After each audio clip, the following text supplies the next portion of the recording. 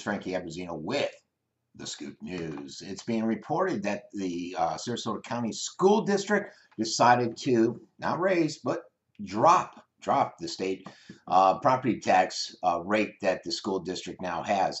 It's surprising. I put out an email the other day from the city councilman Fred Fraize out of Venice, who pressed the Sarasota County School Board to increase it to fund the, I believe it was two or $220 million needed for two new schools, one being um, in the Laurel area. I think they found some property and one more towards northern Sarasota.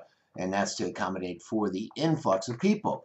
Um, one thing they attributed to lowering it was the increase in property values and the more development that's going on out there. They also mentioned the fact that the bringing the spring training facilities to uh, for the Atlanta Braves um, will help with the emerging development that's going on in North Port.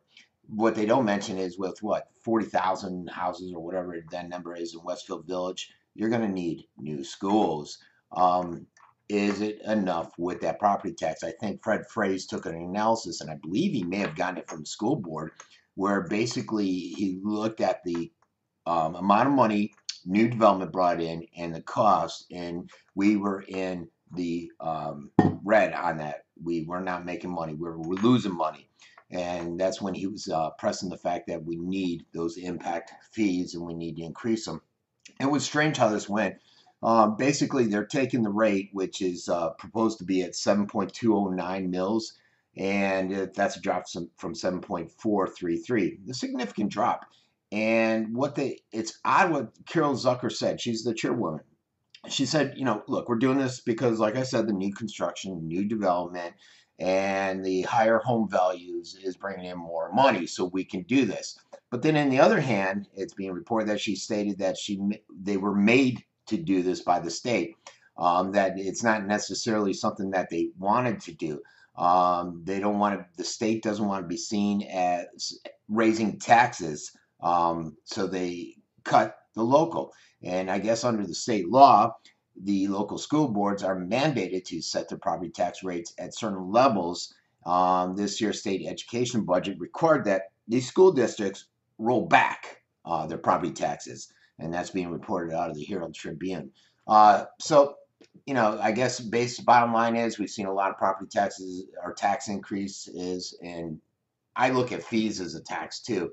Um, if you look in Venice, I think I wrote an article last year. There was something like five. If you look at the two bond referendums, the property tax increase, the uh, property value increase, and then there was a fee increase for the waste management, and then there's another fee increase for waste management again this year.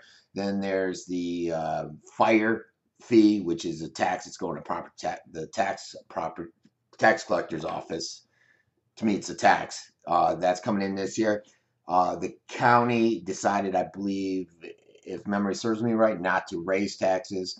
And now you have the school board that's lowering taxes. So it's going to help some people in some cities, uh, some of the four cities in the county, like Venice.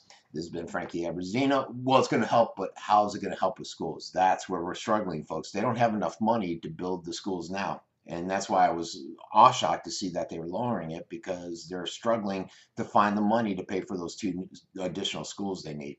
Actually, I think it's more, I think the two high schools, and then I think there's a middle school or elementary down towards North Port that they were looking at doing. Okay, this has been Frankie Abbruzzino with the Scoop News.